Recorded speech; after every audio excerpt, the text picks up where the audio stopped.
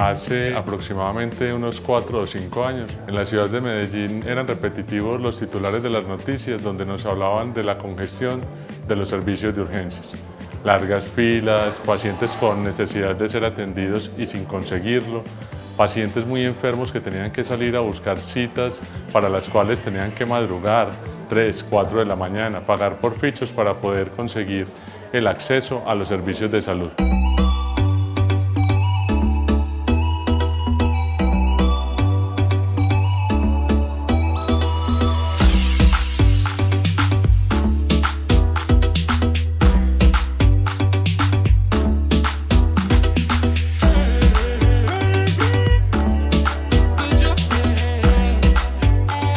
El Centro Integral de Gestión al Acceso lo que hace es que ese paciente que llega a través del servicio de urgencias logre tener acceso a la red de atención en salud a través de la consulta externa o de la consulta prioritaria o de una ayuda diagnóstica que está pendiente, de una interconsulta que está pendiente. Esto ha hecho que se desaturen los servicios de urgencias. Y ese paso a paso consiste en que el paciente solicita una atención, pasa a un proceso que se llama triaje o clasificación de pacientes un profesional de salud, sea médico o enfermera profesional, evalúa el paciente y si ese paciente tiene una urgencia que es casi clasificada como triaje nivel 1 o 2, es atendido sin ninguna duda en esa institución en la cual llegó a ser clasificado. Pero si el paciente tiene triaje nivel 3, 4 o 5, esa institución en esta plataforma que interconecta IPS, EPS y red de atención en salud, pone al paciente en toda esta red de atención y la red de atención lo que hace es definir en dónde el paciente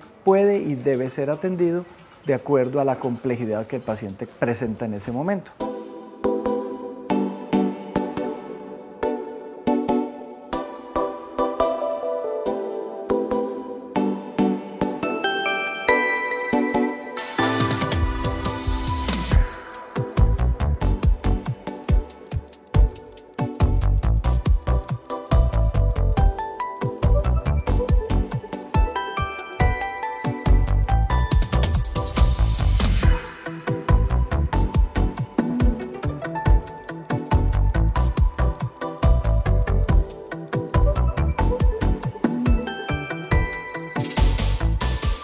Yo acá vine muy estresada porque ya hace muchos días no me sentía tan mal, entonces me vine muy asustado.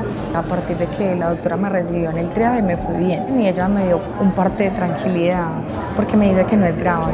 Ella me dijo que me conseguían la cita, entonces digamos para terminar, completar la atención en otro lugar y ya pues como que me hagan el tratamiento que me toca. Pero ya no es pues como antes que uno se quedaba como un rato en urgencias, eh, como espere y espere y espere, no, uno sí le ayudan como, como agilizar ese proceso.